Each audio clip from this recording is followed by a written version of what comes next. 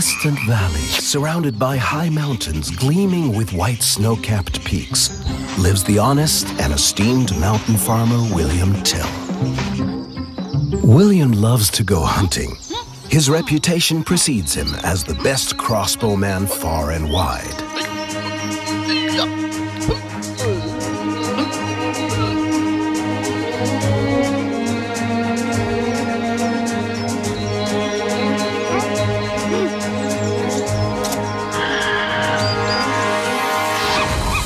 This is the legend of the crossbow warrior.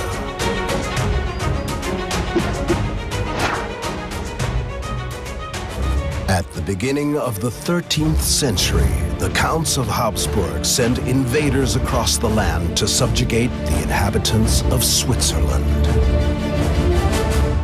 In these times of upcoming darkness, Tell takes his son Walter down into the valley to pick up supplies in the nearby village.